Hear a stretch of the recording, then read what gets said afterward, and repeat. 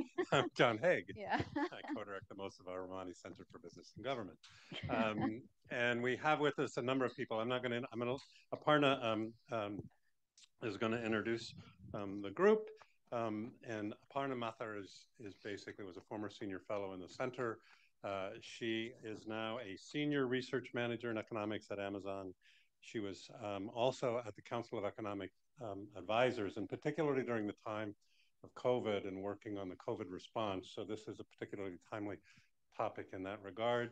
Um, she will introduce all the all of our panelists. The only one that I kind of have to mention is it's so good to have a former Kennedy School PhD, David Autor, now at MIT, back back, back at the school. Always a pleasure to be here. but with that, Aparna, it's all yours. Thank you so much, John, and thanks everyone for being here. As uh, John mentioned, uh, my name is Aparna Mathur. I'm an alumni of the Senior Fellows Program at the Mossavar-Rahmani Center here at HKS.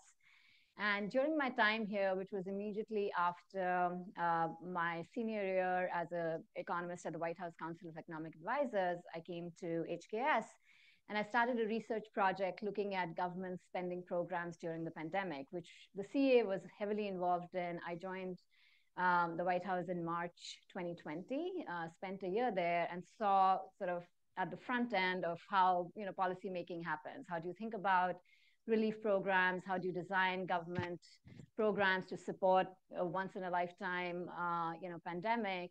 And how do you think about you know ways to change what you know figure out what worked, what didn't, and how do you think about the future? Right? If if something happens again of the same magnitude and scale, would we do what we did before or would we just do something different? Um, and today we are in particular going to look at the types of supports that were implemented for small businesses and workers. These included prominently the $800 billion Paycheck Protection Program. I had David and Glenn Hubbard last year, you know, also talk about uh, the pros and cons of how we, how we did that uh, policy.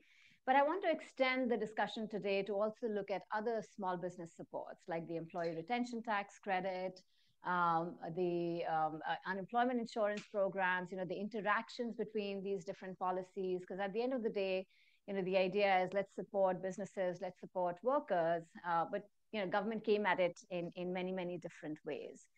So I've always been curious about how do we think about these programs post-pandemic. And this is not a criticism of how, you know, how we did it then. Obviously, policies were implemented really, really quickly. Uh, I don't think people had enough of an opportunity to sit back and say, here's how I design the best, you know, thing that that I want to implement. So, but I, but I think it's useful to sort of take that time now to take a breath and say, let's look back, you know, and think about what worked well, what didn't, and how would we change it. Um, another thing that we you know we're going to talk about is in, in the current moment we're hearing a lot of stories about fraud related to uh, you know uh, many of these programs. And so how do we put that in context right? Uh, context of yes we're balancing sending out support immediately uh, that is probably less well targeted than we want um, but that also comes with its own costs um, so, so, so we, we'll get into a lot of these interesting debates and discussions. I have a stellar panel, fortunately, to, to help me through the questions that, I, yeah, that I've come up with.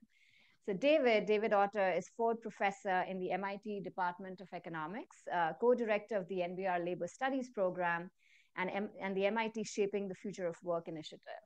His scholarship explores the labor market impacts of technological change and globalization on job polarization, skill demands, earnings levels, and inequality. The Economist magazine labeled Autor in 2019 as the academic voice of the American worker. But my favorite, later that same year, with equal justification, he was christened Twerpy MIT Economist by John Oliver of Last Week Tonight in a segment on automation and employment. David, welcome to the program. Thank you so much. Jacob Mortenson is an economist at the Joint Committee on Taxation, a nonpartisan group of economists, attorneys, and accountants that serve as Congress's in house tax policy consultancy. As part of this work, he researches a variety of economic topics related to tax policy, including individual and corporate responses to income taxes, the impact of retirement savings subsidies, and the measurement of earnings, mobility, and inequality. So, welcome, Jake. Giulia, uh, uh, who is virtual, is an assistant professor of public economics in the Department of Social and Political Sciences at Bocconi University.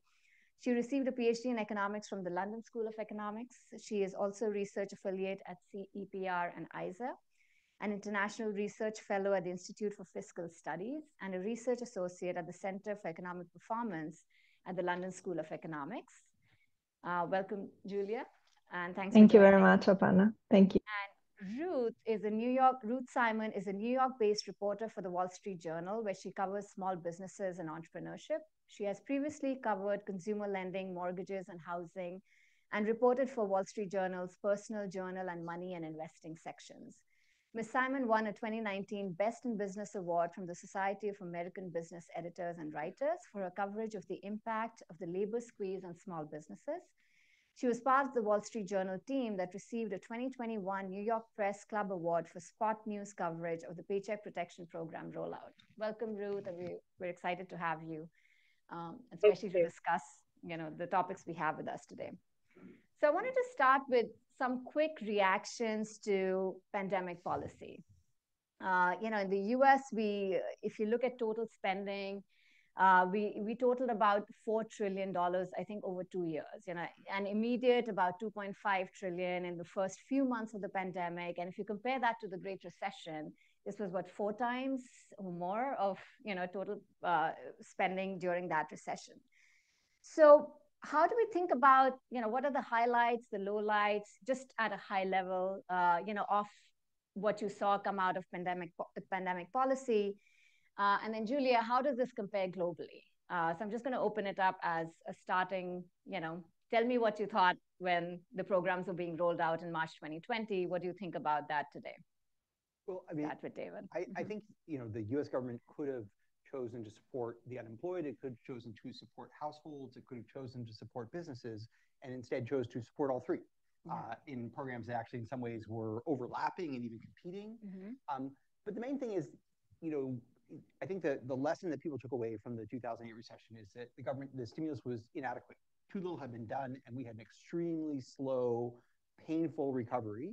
Right. The basically the the Great Recession that started in October 2007 didn't really end until about 2015, and so probably the government did a little too much, uh, and the Biden administration did even a little bit too much more.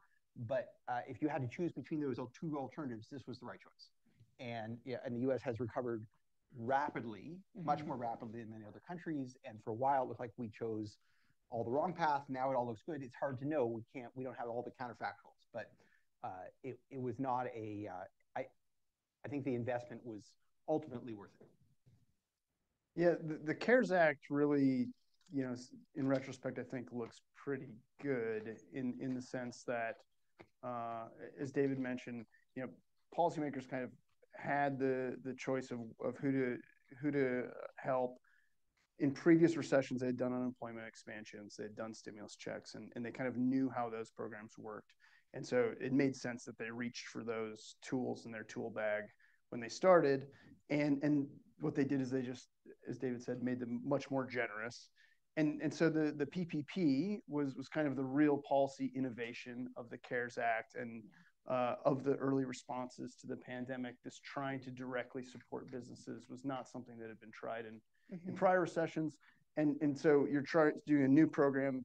Was the magnitude correct on that? Yeah. That that's kind of a difficult question to to answer. Uh, we're going to need a couple more of these to, to maybe figure that out. Um, but you don't need a couple more pandemics. No, uh, you know, for, for, researchers, we, we need more variation. Yeah. Uh, I'm not going to say what kind exactly, yeah. but Thanks. Um, Giulia? Yes, thanks. So as you said before, I'm going to bring in a little bit more of an international perspective, and I would say more of a European one. Um, so I think, as David said, it's uh, it's true also in Europe that uh, countries tended to help firms, workers, and and households. Probably what differed compared to the U.S. between Europe and the U.S. is the mix of different policies that have been used. Um, in Europe, in particular, we have been using job retention schemes at large, uh, whilst the US, I would say, relied a little bit more on more on unemployment insurance and and wage subsidies. So um, I completely share the view that it's hard to evaluate the uh, effects of these interventions during the pandemic for the reasons that have been mentioned before. But I assume that kind of looking back, it's really important because this could be kind of um, moments in that actually can trigger um, a reconsideration of the tools that we have going forward. Um, this was the case, for example, in Italy, where really COVID triggered um, a quite broad reform of the uh, combination of social insurance schemes that can be used during during the crisis. And even though I mean nobody kind of hopes for another pandemic, obviously, to come. Um, in Europe, we have an example of another crisis that actually, um, in a sense, kind of uh, gave uh, uh, gave us kind of similar challenges, which is the energy crisis. Um, it was obviously not of the same scale, but um, it posed similar challenges that could be addressed, for example, with with with schemes that were uh, also used during the pandemic. Thanks, Giulia Ruth. As a reporter, I spent a lot of time besides covering the rollout of these programs, looking in the early days of the pandemic for what we expected to be a massive number of small business failures. And we really didn't see that. We saw bankruptcies starting, which is just one measure because sometimes businesses just close their doors, didn't really start to tick up till this past fall. Um, and anecdotally, I will say I spoke to a lot of small businesses who were helped a lot by these various programs. We can also see that there was a fair amount of money who went to people who either didn't need it or who were, you know, taking money they didn't deserve in a in a more fraudulent manner. So I think there is, you know, somewhat of a mixed bag, but I do know that a lot of small business owners have said their businesses wouldn't be around without the government aid. Okay. So let's uh, let's move to the you know one specific program which we've all mentioned, which is the Paycheck Protection Program. Uh, David, if you want to describe what the program was, and then secondly, there's some debate between I know between you and Jake Jake's paper in JCT um, so Jake's paper in JCT talks about how the Paycheck Protection Program is actually a progressive program. Uh, and I think if I'm quoting correctly, nearly two thirds of the Paycheck Protection Program money supported worker retention costs. The impacts were progressive. Bottom income quintiles increased, it, uh, increased incomes uh, 18%. Top quintiles increased only 2%. Um, and you also talk about how that was also true of unemployment compensation. Uh, but I think the striking number is about 44% of the Paycheck Protection Program loan forgiveness went to higher income quintiles. Uh, if, if we look at David's paper, the, you know, David, you say that that number, the money that went to higher income folks was about 72%. So to the top income, to the top income yes. Uh, so can we talk about the differences and also just an overview of like what did the Paycheck Protection Program hope to achieve? Um, why, why don't we let Jake go first? Okay, yeah. Okay, so the the Paycheck Protection Program was uh, again something that was was the real policy innovation of the CARES Act, and the the motivations and and I think Ruth could be able to speak to some of this as well. But the motivations, uh, at least in sense of congressional policymakers, were to retain these employer-employee relationships, to have workers retain their health insurance because remember we have an employer sponsored health insurance system in the United States. So during a pandemic if a worker loses their job, they're also potentially losing their health insurance, which is not a great public health thing. Um, and then also to reduce the strain on these state run, often archaic unemployment insurance programs uh, where they were getting ready to have an influx of of claimants. And so the idea was the PPP would kind of offset some of that that was going to be generated both by the by the expanded uh, generosity and just from the nature of the shock. And and they wanted to get the dollars out the door quickly, so they used the private lending uh, system to do so, and then they they guaranteed the loans and eventually forgave something like 95% of the loan mm-hmm. amounts after the fact. There were criteria for for eligible firms. You were supposed to um, at least report that you had less than 500 employees. Uh, uh, and, and there were some other criteria. Loans were capped at about $10 million. Um, and about 60% of the, the loan amounts are supposed to go to payroll uh, and employee retention costs. I, did I miss anything else that was really important that you can think of? And I think the rules changed over time. And right? the rules changed yeah. over time. So the, the first draw they issued ended up issuing about $600 billion in loans. The second draw was about 200 billion in loans. And, and that was supposed to be for slightly smaller firms, those with less than 300 employees, and you were supposed to have experienced a revenue mm-hmm. loss. But that was that was in 2021 as part of the American Rescue Plan. And all the payments to employers were tax deductible, unlike the payments to the eventually went to the workers through this program. So yes, workers who who retained their jobs obviously continued to pay taxes on their wages, but kind of unlike other uh, you know, loan forgivenesses in under the Internal Revenue Code are generally treated as income, and in the case of the PPP, they were not treated as income for for the entities. Yeah, so that's a, that's a high level overview. I, I can dive into yeah. my paper. Yeah. Okay, so so our paper uh, had had the benefit of the S the Small Business Administration released the loans at the, at like a micro level, individual level loan data. And what we were able to do, because at, at Joint Tax, we have access to uh, uh, tax records, we were able to link those loan applications to the entity level tax returns. And then because most of them were pass through entities, S Corps or partnerships, we were able to link most of them to the actual owners through the, the K1s that these entities issued. And we were also able to link them to the workers from the W 2s of the entities. So this provided us with a good measure of the distribution of the workers' wages for PPP firms and a distribution of the owners' wages for the PPP firms, and, and allowed us to, to do some of the things that we were interested in doing, which was look at the progressivity, but also look at the wage effects, the, the labor retention effects, and then uh, you know, we, we, kind of can't help it. We're at the, the government, we're thinking about the net fiscal cost of this thing. And so we're thinking about revenue feedback mechanisms and other things like that. Yeah. Yeah, I mean, so uh, the, Jake's team has done a really good job of this, and we, we didn't have access to the same type of data, yeah. so our uh, calculations are much more back of the envelope. I think we, you know, I actually think they're not that far apart. We sort of calculate that the cost per worker year retained was somewhere between 100 and 150 thousand uh, dollars, and that some very substantial share of the money ultimately went to the top quintile households. So they estimate about 45% finally we estimate about 75%, but just call it 50%, that's fine. Uh, and uh, a question, you know, a sort of a conceptual question is, is that progressive or regressive, right? So if you, you know, the top quintile households, they have more than 50% of the income. So in that sense, you could say, well, it's progressive, except that this was not a tax cut, mm-hmm. right? It was a, a, handout. So, you know, I, I don't, I don't think that's the right standard. That is personally, I would say, look, just like the, the UI benefits or the household payments, you know, uh, equality across uh, income quintiles would be a reasonable expectation. Nobody thought of this as a intentionally trying. And in fact, the payments to workers were capped at $100,000. So Congress intended for it to be progressive in that sense, that mm-hmm. people who had incomes above $100,000 would not get full replacement, and people who had incomes below didn't. So how did so much end up in the top quintile? Is because only half of it was used for wages, yeah. and so the rest went to owners who are disproportionately affluent. Mm-hmm. So I, I think that that's you know not a good outcome or not desirable outcome. But I, I would say I, I, uh, is that there wasn't a, there was no good way to do this, right? So the choice was between do it badly or don't do it at all.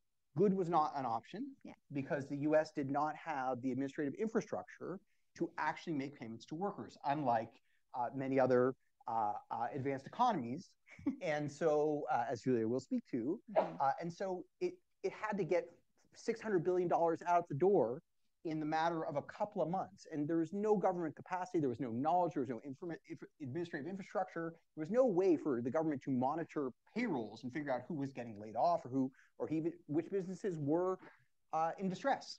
So basically, any business that wanted to said we're in distress, they would qualify, and the government couldn't monitor what was happening, and it had to use not even government lending facilities, but third-party facilities to do this lending.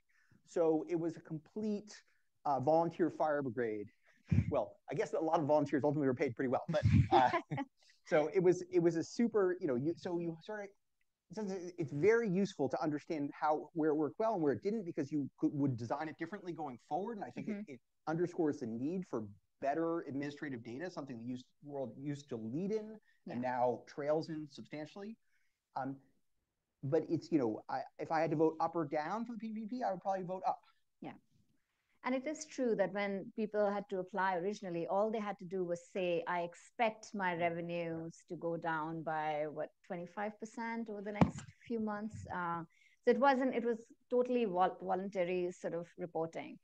Ruth, you you know you mentioned that there were lots. You know, small businesses are a diverse group. Like you know, there's no one image of what a small business is. Uh, what do you think the goal of the Paycheck Protection Program was in terms of the types of small businesses you know government wanted to help and what what are your thoughts on did businesses actually get help by the program? A couple thoughts. First of all what is a small business using basically the ppp was based on the sba's definition of small business which is fewer than 500 employees which could mean somebody who's self-employed it could mean a mom and pop restaurant. It could be a sophisticated software consulting firm or a manufacturer with 450 employees.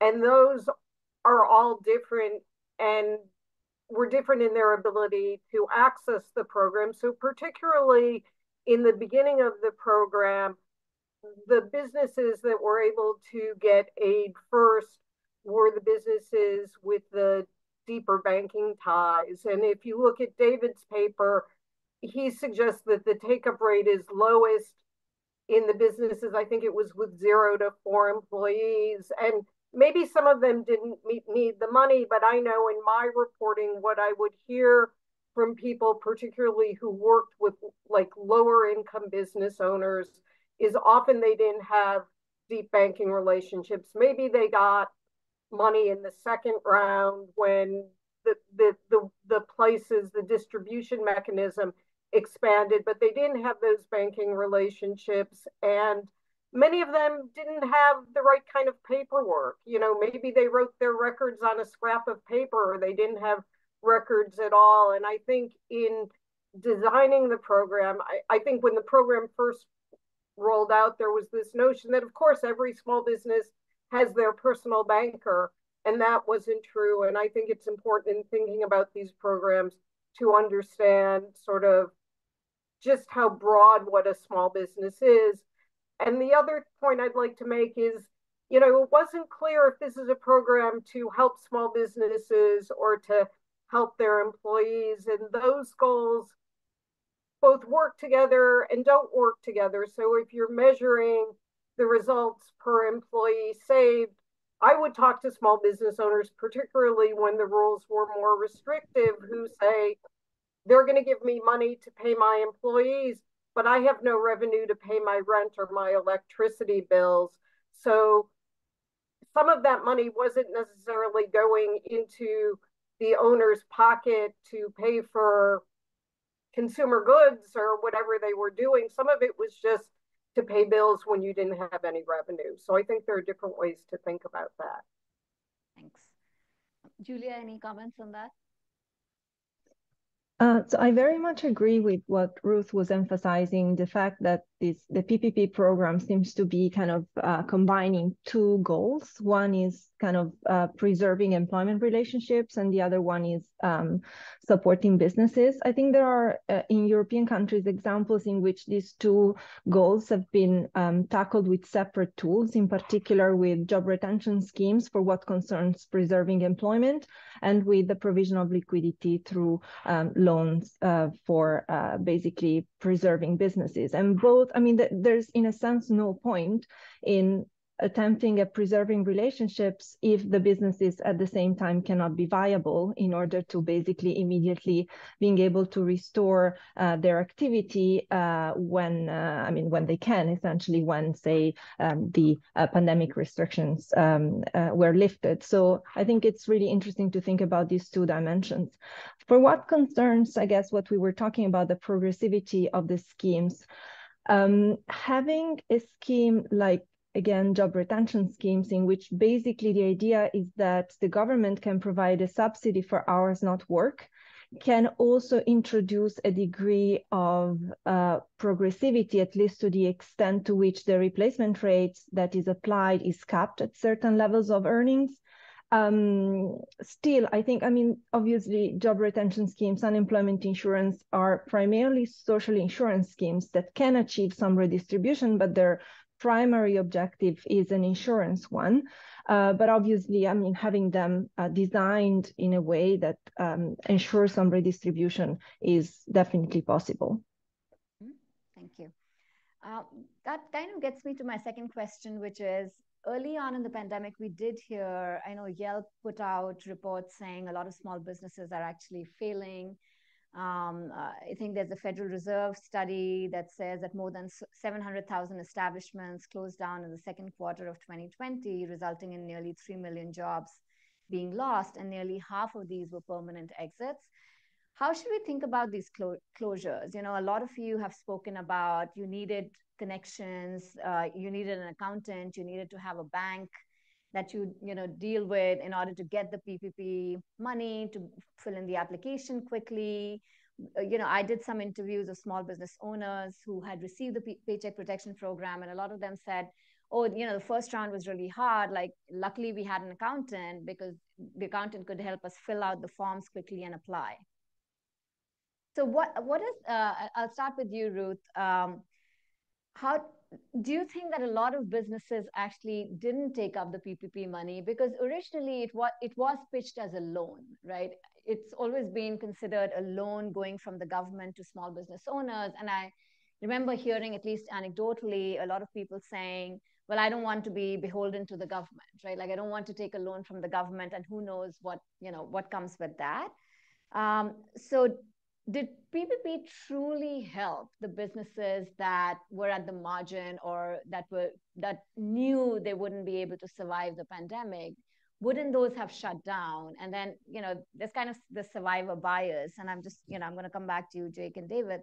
What, how does that feed into your analysis, right? Like if, if we're only observing the, the businesses that survived, you know, does that impact how you know the results how, how we should view the results that you get so i'll start with you ruth um so i think for some biz there were some businesses that were going to fail anyways and these mm-hmm. aid programs just postpone that that failure i think for the businesses that didn't take the ppp i remember doing some reporting in a mm-hmm. low income neighborhood in after um, the murder of George Floyd, and there were some business owners that weren't even aware that this aid was available. So I think there are, you know, particularly on if you were a less sophisticated business with, as I said, poor records, less ties, you might have had a hard time getting that money or or or knowing about the program.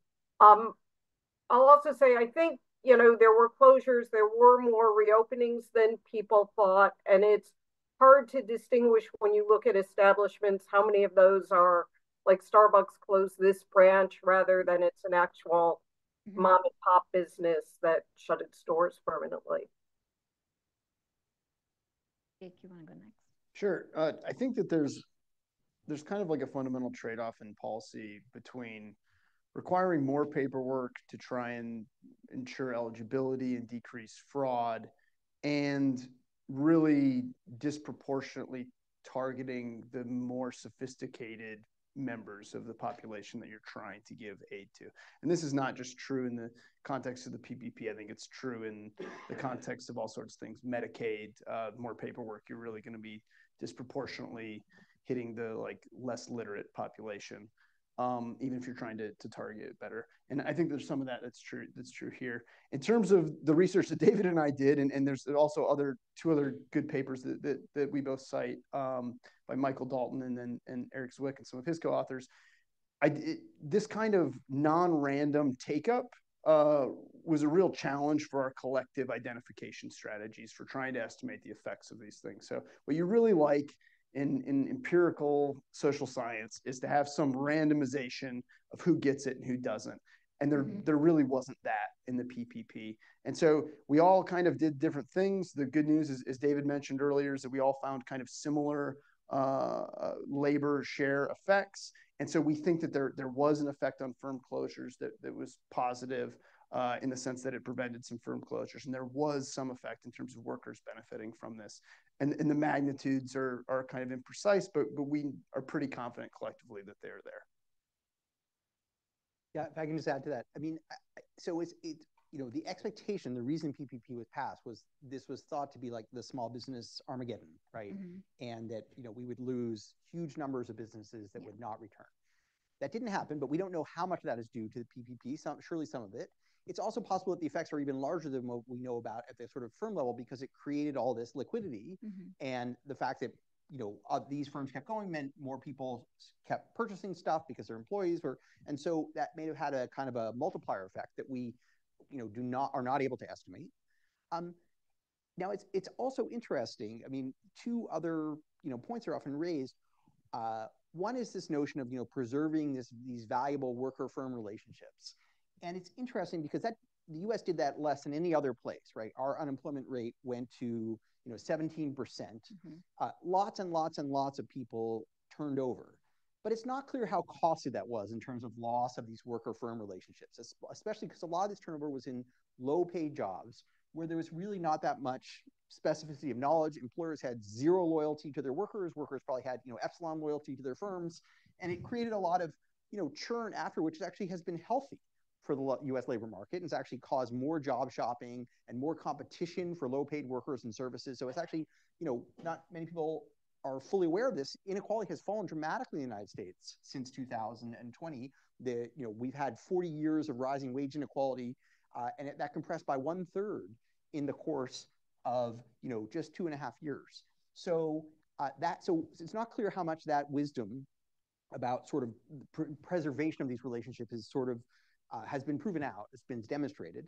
And the other thing is also interesting is the U.S. was in a period of falling business dynamism for two decades, fewer and fewer small businesses, new businesses opening, and that also reversed.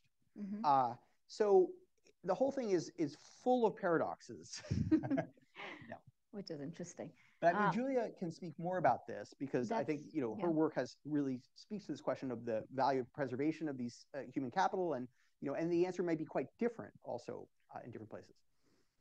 Yes, thank you, David. Yes, indeed. I guess I wanted to sort of uh, touch upon uh, a couple of things that, that have been said. So I think when it comes to selection into take up, and again, this does not only apply to uh, job retention schemes or the PPP, obviously there is going to always, there's going to be some degree of selection. And I think it's not that's not a problem per se.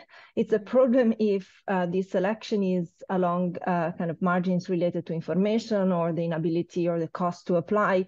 We would rather selection rather to be on the base uh, along the dimension that is, for example, the extent to which a given firm is going to be able to benefit from a program as opposed to kind of just um, again rely on it to survive for an extra few months um, but uh, but not be viable in in the longer term. So this idea that actually you know keeping workers attached to firms might uh, reduce the uh, kind of reallocative uh, forces that uh, that recessions or crises have has been, I mean, has been um, a huge concern, a, a, huge policy concern, I would say, especially in Italy. There's, uh, sorry, in Europe, there has been a lot of discussion about that.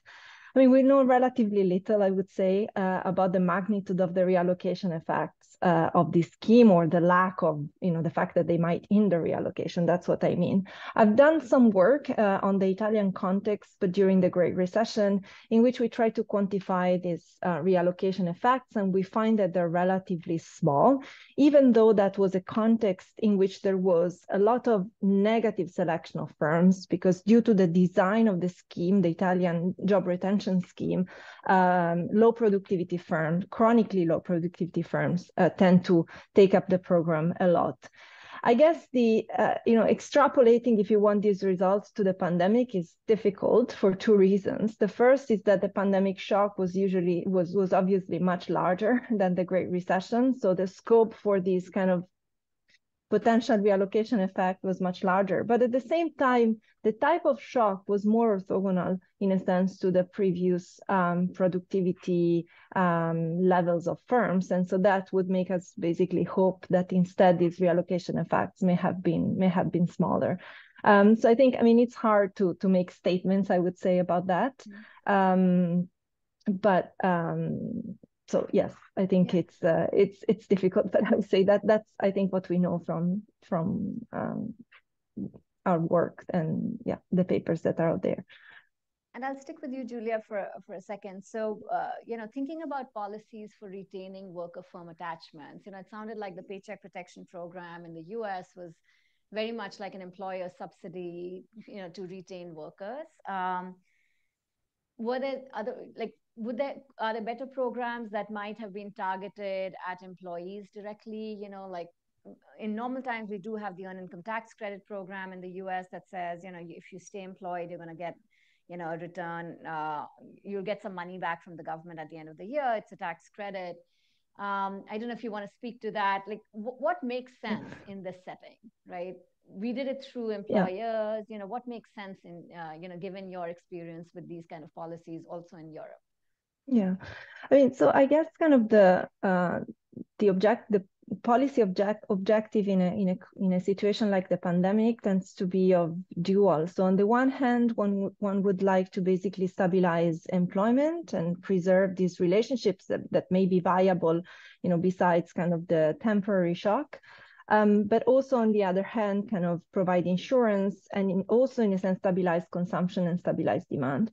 So I think with um, schemes such as the earned income tax credit, for example, or direct payments to workers, um, such as unemployment insurance, you can probably more easily achieve the second. So you can definitely provide insurance, you can hopefully potentially stabilize demand, but you're unable to achieve the first objective, which is the employment stabilization. So I believe that one advantage of the uh, providing kind of the wage subsidy through the firm rather than directly through the through the to, to the workers is that you can really kind of achieve this this dual uh, uh, objective in in that way. Giulia Ruth, do you want to add to that? I, I just there may be another objective that you have as well, which is what do you want the makeup of your economy to really look like? So um, I, I think it's fair to say that small businesses were more vulnerable than larger than big corporations to the impact of economic shocks like the pandemic. They have smaller cash reserves. They can move more quickly, but they tend to be more fragile. So, in addition to sort of thinking about those employer employee relationships, if if lots of small businesses fail, you know, then you may have a more concentrated economy, and that's another policy choice that I think people have to think about. David, Jake. Go ahead. Why don't you go ahead? uh, you know, I mean, you know, one thing that Giulia alluded to is uh, for these, you know, what are called short time work, which is mm-hmm. very common in Europe and exists in the US but is rarely used, is the notion that you can reduce someone's hours uh, and the government will make up the difference, right? So you cut someone's pay in half uh, or you cut their hours in half, and then the, uh, they so they work half time, but the government steps in and pays the other half, or two thirds of the other half, or something like that. And the advantage of that is that it means that the employer is uh, only will uh, they basically have to. It, it induces virtuous selection, right? That you wouldn't want to do this, you wouldn't you wouldn't want to uh, take up this money if you weren't actually going to reduce your employer's hours. So if you're a big firm, right, you can you know you could just take the money and not lay anyone off, not you know, or or lay them off. Ultimately, actually, it was totally up to you because ultimately there were so many safe harbors that were created yeah. after the policy was put in place that any firm that took the money, even if it didn't use it for payroll, could essentially say, well, some other law prevented us from doing that. It would have put people at risk. So we fired all our workers and we're keeping the money, and that was legal, right? Uh, and so it, it eventually became, you know, in some sense, it was initially supposed to be a conditional transfer and ultimately became an unconditional transfer. Uh, and you know, uh, so that was, uh, and that was the result of lobbying, right? And lobbying by big firms, and big firms loved PPP, and you know that's how we got a third round of PPP, and that's how they got you know this eighty billion dollar tax expenditure to make it all tax free for mm-hmm. everyone who got it, and then had these multiple rounds of safe harbors added that essentially made it uh, you know the money was never going to come back. And, and I think that was unfortunate, and that's a you know, but that's a that's the nature of our politics. It's very very susceptible to lobbying. I think, you know, I if if I were had access to Jake's data and I was allowed to do it by my employer, which I, am sure I wouldn't be, that you could do a the, the horror stories you could tell from the tax data about firms. Jake looks away from about you know. Jake is trying to stay apolitical. Yeah, uh, uh, employed. Right, exactly. Stay employed. I mean, exactly. You would be able to see this, right? Firms that got absolutely you promised you wouldn't have that goal. reported what normally would be enormous profits, but didn't pay taxes on that, right? And had very little worker. That would all be visible in corporate tax returns. So you could tell the story, and that doesn't mean the program was yeah terrible in net but there were amazing abuses, right? So, you know, hotels uh, closed down, fired all their workers, uh, used it to break unions. Uh, and then when they came back, the jobs were worse. And they kept all that money, even though they didn't retain their employees, because they said, well, the other pandemic restrictions prevented us from doing it. Uh, yeah. And so, you know, the Ramadas of the world. And so there are a lot of, you know, big corporations and big pass through businesses that got just enormous handouts. Mm-hmm. Uh, so I think that was, you know, uh, no one can feel good about that. And, and the designers of the program, except the people who got the money, and the designers of the program didn't intend that. And, you know, but there, it, so you could have done better. You couldn't yeah. have done perfectly. We don't have the administrative systems. You know, all, of, all, you know, Italy and, and most of uh, Western Northern Europe, right, have detailed registers at the worker firm level so they can see payments maybe not in, in, in real time mm-hmm. right but they can figure out who was paid and who was working and all that we don't have that so going going back to the the piece about worker um, subsidies versus employer subsidies before I talk about verification. So the, the United States has tried, uh, you know, the advanced earned income tax credit was was a part of the tax code in the 2000s. Yeah. There was very low take up. It's very difficult to administer because it depends on things like uh, how many dependents you have, uh, and you know how much labor income you're having, and and a lot of these things are more difficult to forecast for tax units within a year than you would guess. House low income households just have less more variability in their income. Their their household structure changes over the course of the year more.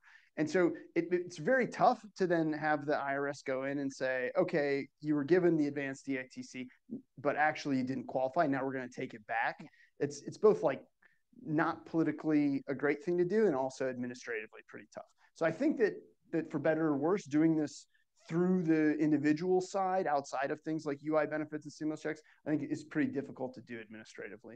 In terms of the verification, I think that I hope one of the lessons that was learned by by policymakers uh, is, that they really do need to think about what do they already see on these tax returns. Uh, you know, in addition to entity level tax returns, you have quarterly employment filings, Form 941.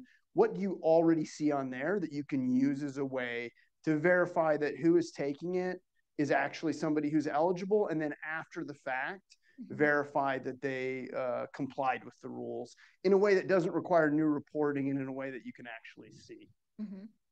And there's just there's a hostility to data collection in the United States that's nefarious, right? People are constantly trying to undermine the, the Internal Revenue Service, even though the best evidence is those collection dollars have a very high rate of return, and it's not because they're you know uh, you know busting down the doors of the houses of widows, uh, reclaiming Social Security payments, right? It's billionaire tax cheats. Uh, but you know, the, there's the rhetoric is this is the government, is the IRS overreaching. The reality is, Congress members are influenced by wealthy people who don't want to pay taxes. And then there's another mindset of we can't have those jacksuit-booted government thugs coming in uh, and knowing, you know, uh, what we're paid. And so the, you know, so we've there, there's just been enormous political pushback against centralized data collection. You know, the unemployment insurance system in the United States, right? It's 50 different archaic systems. And yet they're all, a lot of that money comes from the federal government. And all those records actually go back to the federal government ultimately. Yeah. They form the LEHD, which, you know, Longitudinal Employment Household Dynamics database that some of you might have used or may yeah. use uh, if you're so fortunate uh, later on in life. And uh, the, um, and so, but still, that so this would be the moment to centralize that. To say we ought to federalize that system, right? Every system, you know, these the reason everyone got 600 bucks as opposed to there is because these systems were written in COBOL 19, yeah. in the 1950s.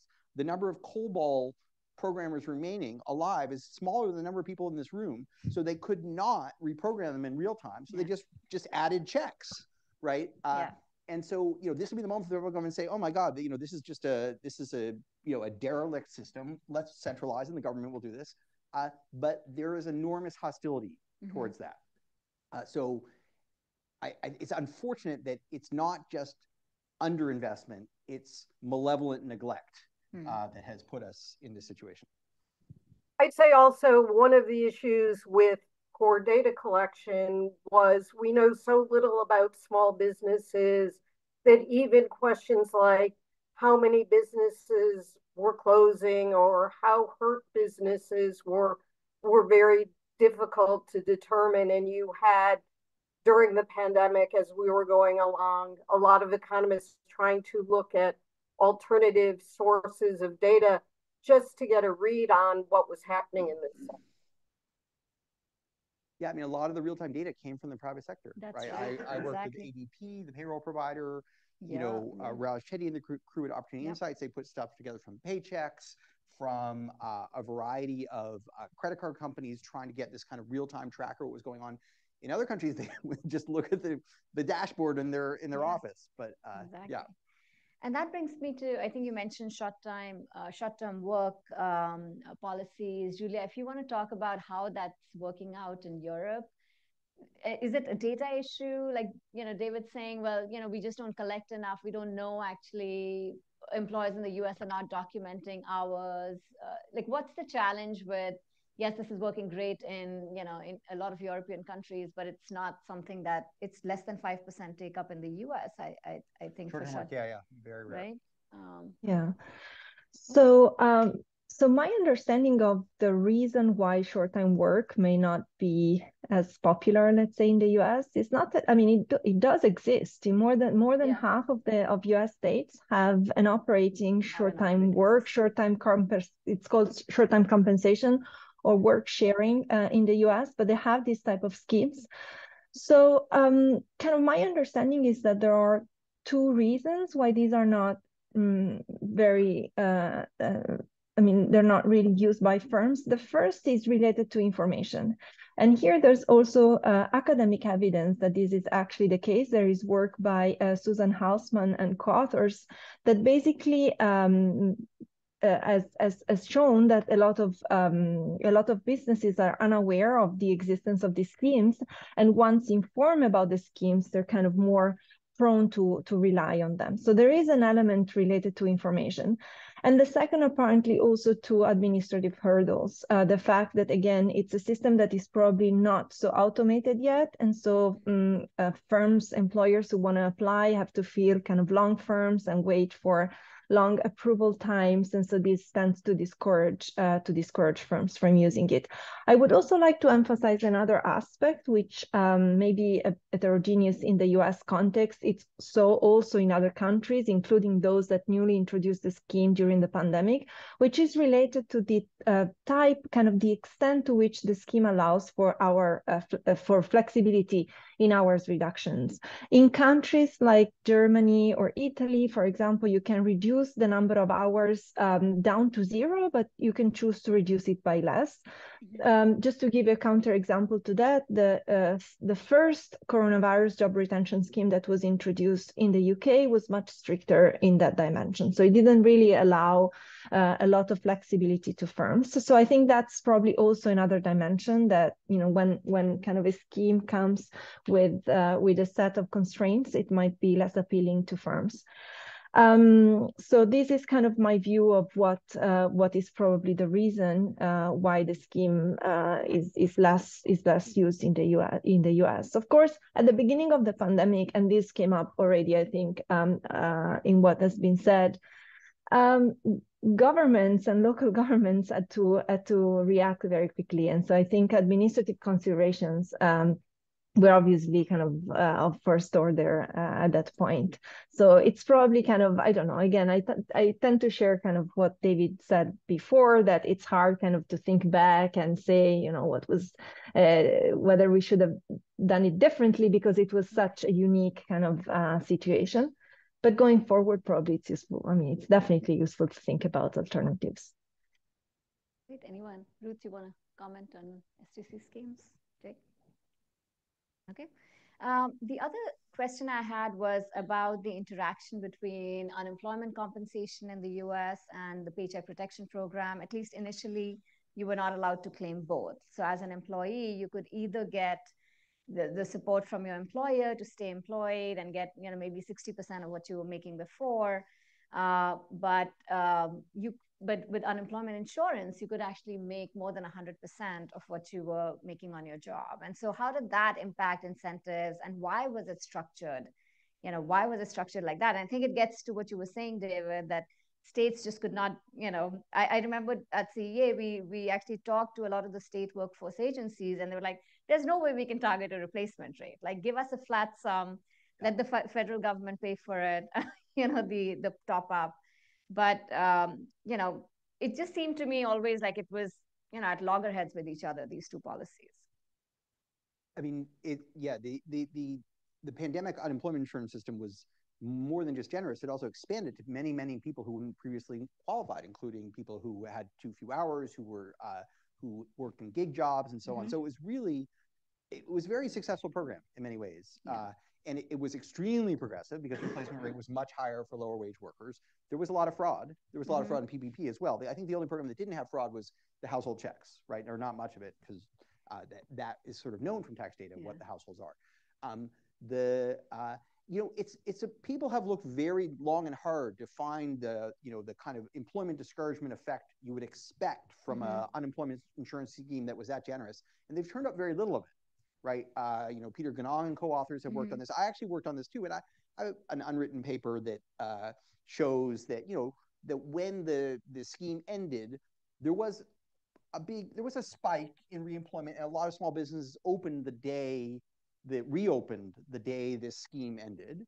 But I don't think it, it wasn't nearly as distortionary. There were lots and lots of stories about, you know, restaurants couldn't hire anyone because their workers say, "Why would I work for you? I'm making twice as much by not working for you." I don't think we found a lot of representative evidence to say that this was a huge factor. So these these programs, uh, and, and as, as Jake paper, paper points out, right, the PPP, one way it actually saved money was that people who were receiving it couldn't go on UI. They were still working, yeah. right? So there was a, there was a little bit of, uh, you know, kind of uh, cross, uh, what one program sort of reduced program costs on the other although I, I, will say, and this is something that, that David actually helped us to, to refine our, our estimates of this. So one of the things we do in the paper is estimate the amount of unemployment insurance saved as a result of the PPP. And kind of the, the first thing that we discovered when we were going to match up, uh, because of course we, we've linked the workers to the PPP firm, we can then go look at those workers' uh, receipt of UI through the 1099G. And the thing that jumped out at us was how much UI uh, workers at PPP firms had in fact received. Is that so, right? Yeah. So, so in our paper, we actually estimate that the UI effect is is pretty small. We think it only uh, reduced the cost of the PPP by about six percent. Um, so, so actually, the the pattern of UI take up among PPP uh, employees versus non is, is pretty similar. And I think that this goes back to, you were mentioning the, the safe harbors and the enforcement decisions that were made. Um, right. So all those hotels could have taken PP, fired all their workers. Yeah. And and rehired them even, right? It could be that they just temporarily said, right you go off this. This is more generous. The the replacement rate. I have a paper with Jeff Jeff Larrimore and David Splinter that measures the UI replacement rates, yeah. uh, and we find that that for a lot of workers it was above 100 percent. And so, in, in some sense, it, it could have been a, a, a rational thing for these employees to do to go on yeah. unemployment insurance for a couple of months. Then the hotel hires them back, and they've actually gotten more income, and it's not taxable because unemployment insurance was also excluded from taxable income up to ten thousand dollars. So. Uh, so you're saying that if, even if they were on temporary layoffs, you, a lot of them claimed UI, though technically they shouldn't have. Uh, it's unclear. It's, so the onus was not on the worker, right, for the PPP. So the worker gets laid off, they can go claim yeah. unemployment insurance. The the PPP, PPP was about the business. Was about yeah. so this is all on the on the business side, not on the yeah. not on the worker side. That's true. Yeah. Ruth, you want to speak to that? Um, I would only say you would hear a lot of employers talking about how hard it was to find workers. And so one of the stories people would tell was because they had all these benefits.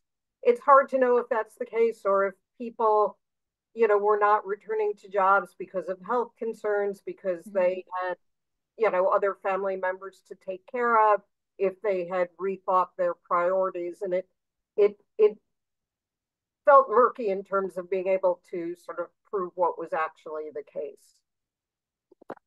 Sounds great. Uh, yeah. Sorry. No, no, go on, David. Well, I just want to say, I mean, what's amazing is how much we have recovered from this yeah. and the Western world has recovered from this. I mean, fortunately, it was not nearly as severe in uh, sub-Saharan Africa and India and even mm-hmm. in China. So we don't know how fast they would have recovered. But you know, I I find it remarkable. I mean, whenever you know, whenever you hear about like, you know, JetBlue has a computer failure, they have to cancel 2,000 of their flights, there's no storm. You always think, well, that's it, they're done. Like they'll never get it back together. It just seems impossible. They should go out of business.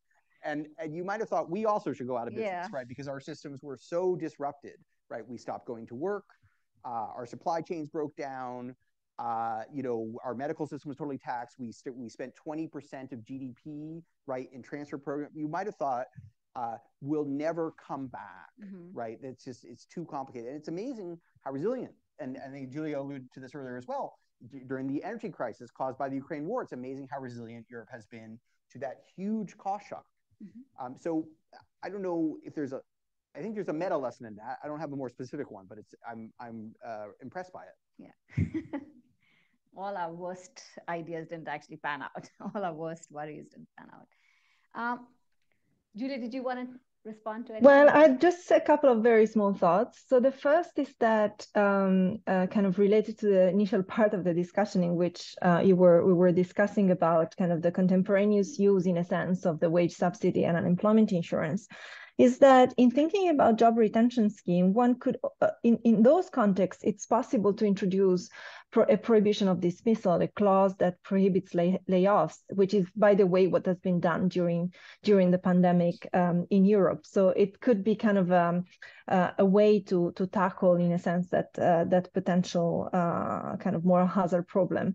Um, and the second is that maybe I would like to, you know, given at least from a kind of a European perspective, there's been really kind of a lot of emphasis on this uh, worry that short-time work could would impose very very uh, large reallocation effects. Well, given what we just said, if unemployment insurance is especially uh, generous, it can also have reallocation effects, just of a different type, in the sense that probably short-time work is more of a break to uh, kind of the reallocation of capital, labor and capital towards, say, different sectors. But um, a very generous UI can have very much, uh, yeah, very similar uh, implications for the reallocation of labor, the lack of reallocation of labor, or I mean, in the sense that it's going to slow it down.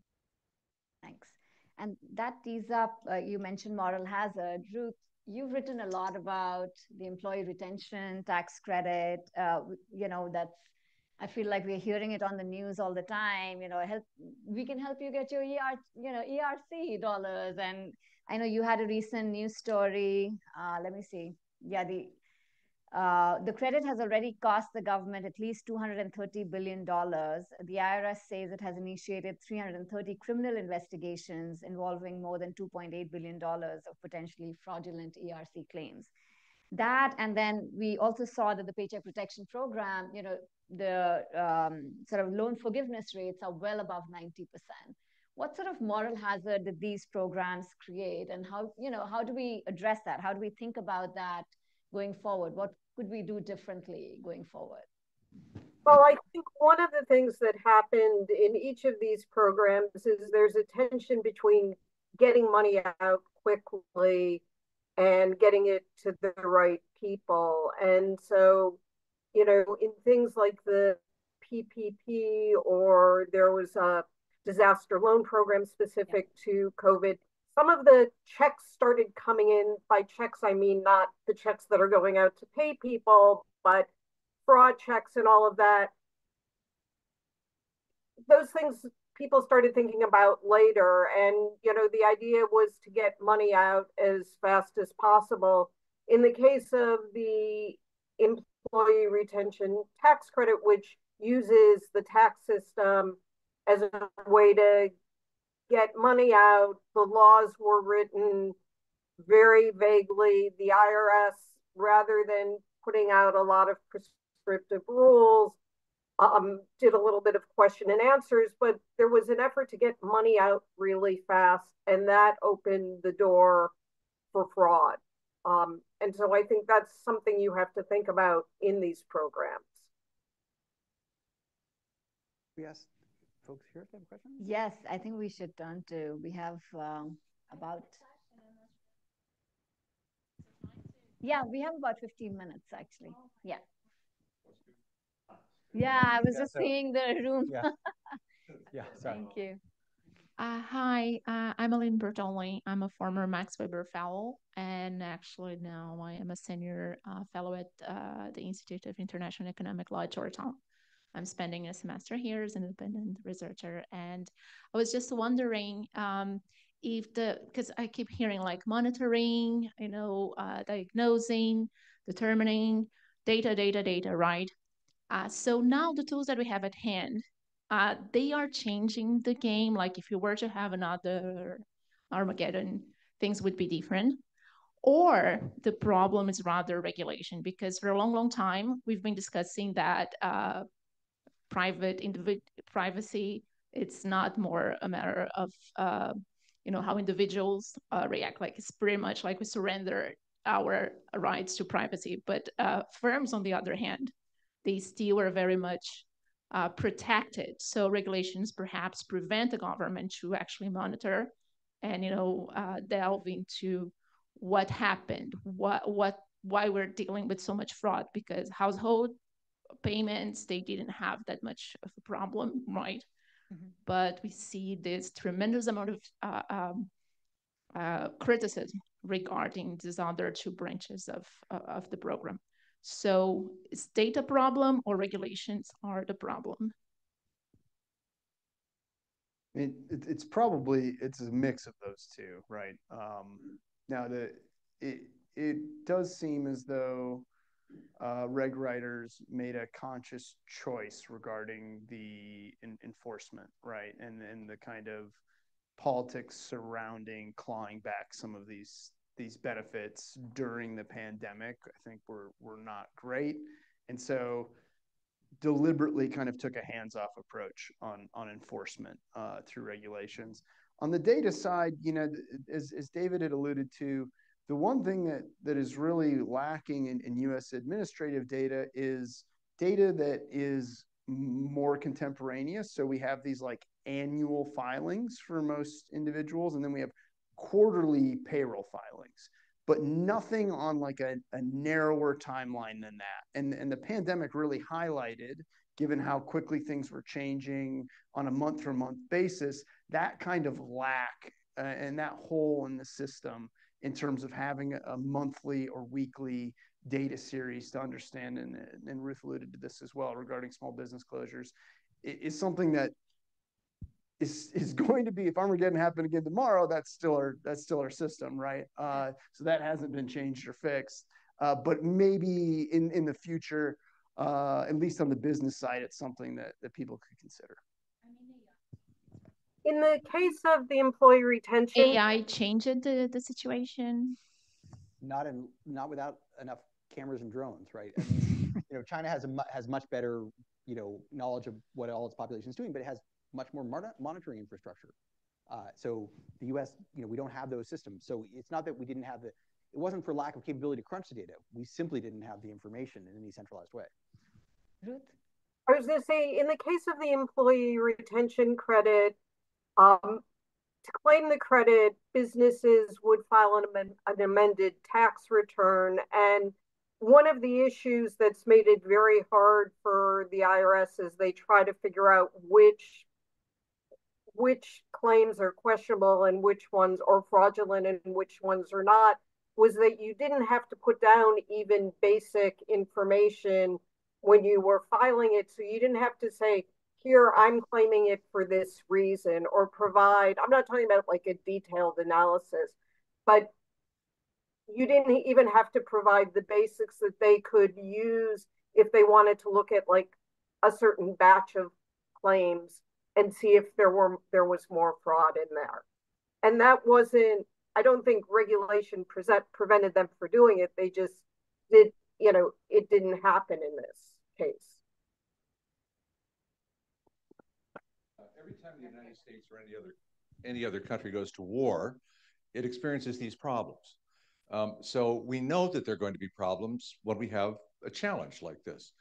You've uh, mentioned, and I think it's very important to say, we live in a surveillance state in which an enormous amount of data is collected on all of us, but the government is not the one who's right. doing yeah. the collecting. Why, on a simple level, could there not be legislation that said, under declared emergency conditions, the government shall have access to sets of data controlled by ADP, controlled by the banks, uh, contro- controlled by the realtors.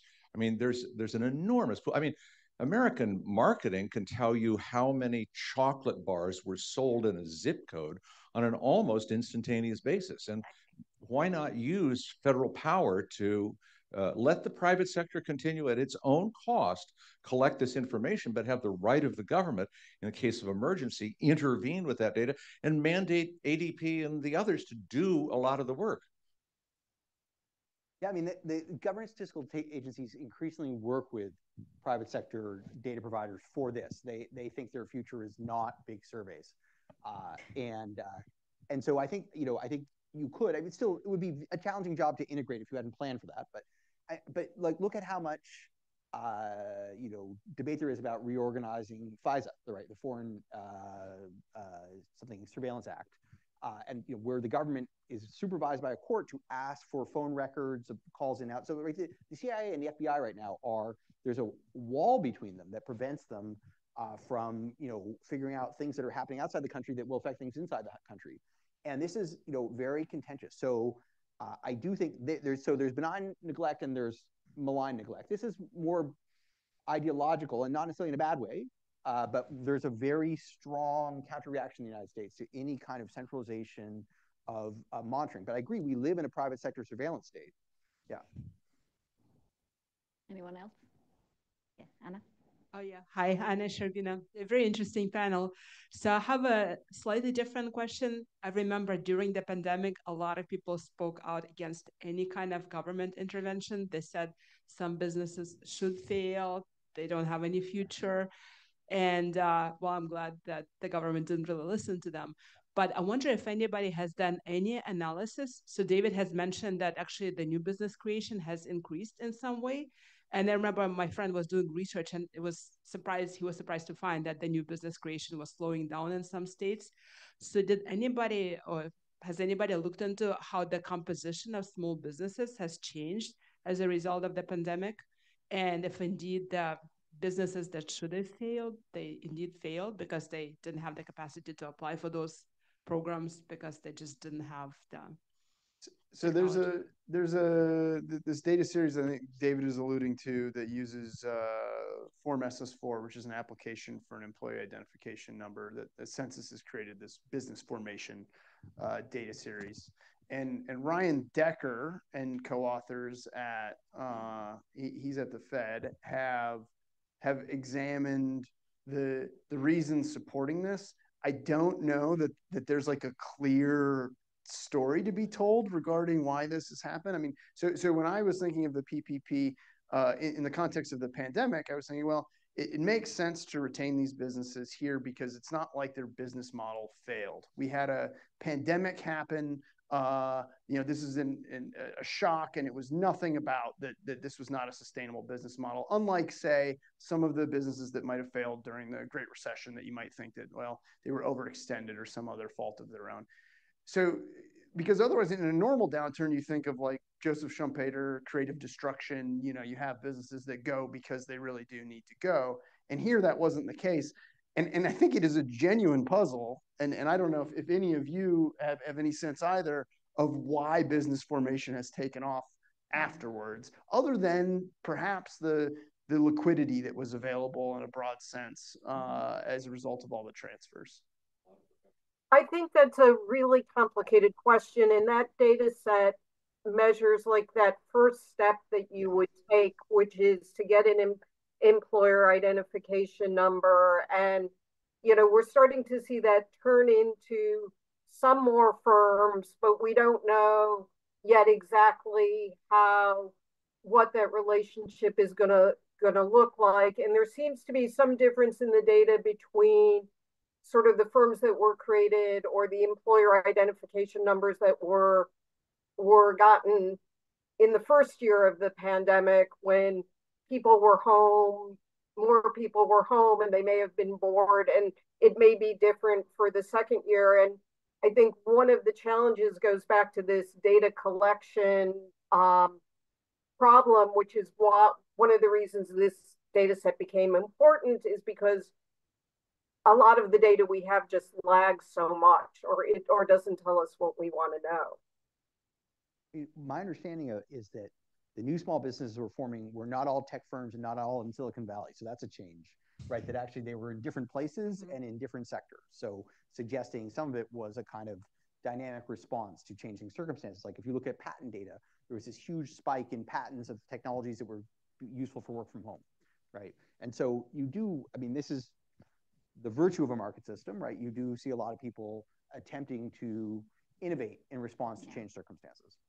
And you saw a lot of non-store retail in that 1st mm-hmm. period right after the pandemic, um, which is like one of those responses to I'm home and what can I do? I just have a very hopefully quick question, but and it's along the lines of some of the things we've been talking about just here at the end. But um, when I know you weren't directly involved in the policy formation, you're just you know you're terrific academics and knowledgeable people trying to evaluate these things ex post to some extent. But was what's your knowledge of in the formation of these policies, there was clarity of what the end state was that we were trying to achieve? And then how do you think about like how much are we willing to just kick the can down the road? And how much of it do we really want to restructure the economy in some way? Kind of those kinds of questions. And I'm thinking like along the lines of the business formation, type one, type two errors. Like we want to make sure we're kind of helping companies that should be sustained be sustained, mm-hmm. but we also don't want to make type two errors where we're, you know, giving money to to firms that really don't have an effective business model when you look at it out through time. Uh, given the conversation about administrative data, I'm delusional if I think the information existed to actually think about that systematically. Um, but do you have any thoughts about just how the policy formation discussion occurred? So, uh, JCT is, uh, uh, you know, was participating in a, a, lot of the the policy discussions, and so the. I, keep with the disclaimer, which I probably should have said at the beginning, that nothing I say represents the opinions of the Joint Committee on Taxation or any member of Congress. A bit late. Uh, you say this is like off the record. it covers like covers the whole uh, whole talk. To be clear, um, you know, it, it it was less of a we have a set of very specific goals that we want to achieve, and more here's a crisis what can we do yeah. to mitigate it? And and you know we we were on hours and hours of calls uh, brainstorming trying to think of you know how do you address kind of all the topics that have been talked about today?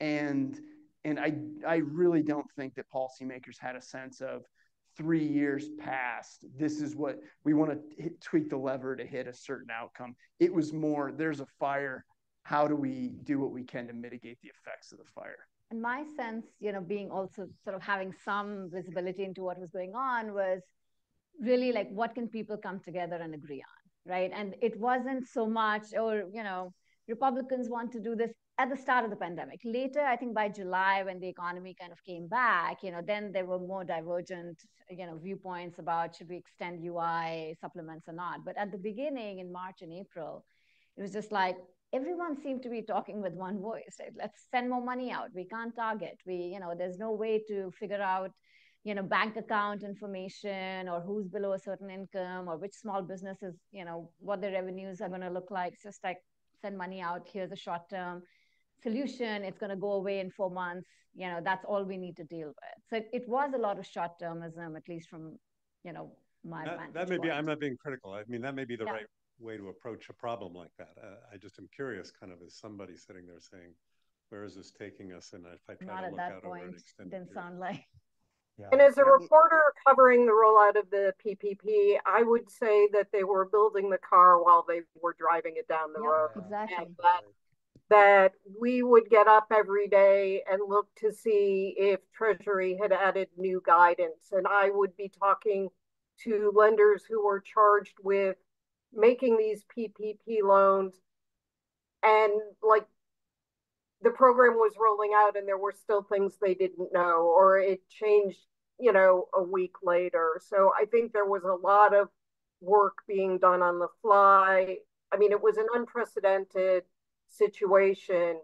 Um, but this idea that that the policymakers had the foresight to sort of understand all the ramifications and tweak it that way, it just didn't feel like that was what was going on in real time. I mean, this could, it, it, this is really like probably politically very boring for people to think about. But the thing we could be doing now is thinking about some of the things like Richard was saying, or some of the administrative data considerations, so that we at least have informed decisions. Um, Totally. The Pentagon generates dozens of war plans, and Yeah. Homeland Security Right. does dozens of contingency plans. Why the hell can't Treasury or the Fed or some combination just do contingency planning? It doesn't have to be what we will do, but it offers a menu. Menu of options. Consistent planning. well, and having the data to support some of those decisions real time, because it was clear that you didn't have the data you needed real time to kind of make a, make the I mean, best people- choices. Exactly. People thought the CDC was, we were the best prepared country in terms of, I you know. Disease control. But I mean, it was believed up until that moment. I mean, it wasn't true, but, you know, we thought we had the plan. Yeah. Uh, although I will say, you know, for all of the, you know, so many shortcomings, and I, I know I can be criticized for being too optimistic, but it, it did show the efficacy of government, right? Actually, that there was no private sector firm. Google wasn't going to step step in and spend 20% of GDP to fix this, right? And it did. You know, child poverty fell to its lowest level in U.S. history. Uh, you know, houses didn't go bankrupt. People Mhm. weren't thrown out on the streets, right? It could have been like Hoovervilles, you know, after 1929 or something, and it wasn't. Uh, so it was actually, in many, many ways, not only a success in terms of how we adapted to it, but a demonstration that there still actually is not a close substitute for government uh, in dealing with some of these major problems. I'd be interested to hear Giulia's perspective on how this is perceived, or you know whether you know uh, Italy or any other country to which you're most familiar felt like it did enough, too much. You know, Yeah. uh, yeah. on on this point, I think I mean views are obviously uh, very heterogeneous, and Yeah. you know there, there's obviously political considerations. But maybe kind of to end in a sense or add a positive note to to this the discussion that we have just been that we have been doing. Um, I think it's I think it has like the, the, the pandemic has really proved as um, kind of a, a context in which governments have been rethinking about these schemes. And again, I'm more familiar with the Italian one, but I can tell you that again, the, the, the crisis really accelerated a reform that is was uh, a reform of all the social insurance schemes that was long uh, needed and that provided kind of you know we had a system that was highly fragmented didn't provide kind of coverage to certain subgroups of workers and the population. And so in a sense i think you know there, there was uh, it was really a momentum to rethink about these schemes. And in some contexts this this has been done. Again the italian one is an example. We had the reform of the short-time work scheme that integrates also um, unemployment insurance. Um, so yes I think there is there is also it was also like a, a positive uh, moment for policy. I mean, that's partially I didn't I, I realize we're out of time, so I'm gonna.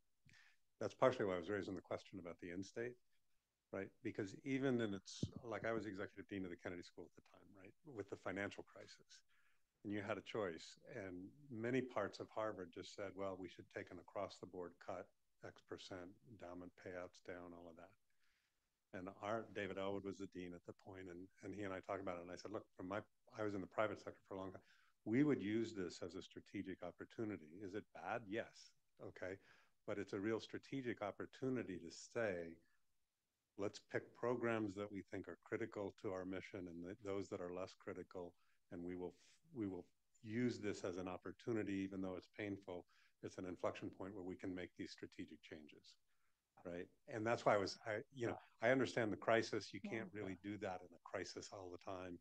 But was there any thinking about strategically, how can we rethink? And Giulia, sounds like you did. I mean, you're using it to rethink social insurance programs and, and other kinds of social programs.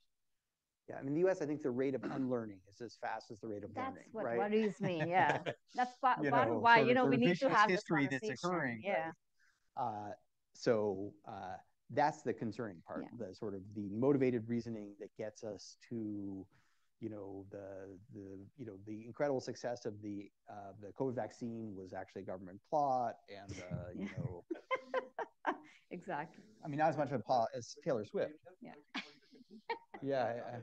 yeah, Yeah, and how alternatives. Yeah. Yeah. yeah. And I don't want to sound cynical because I thought your comment about actually worked out like really. So much better than I think. Yeah. Okay, thank you so much on that positive note. Thanks. Okay, thanks.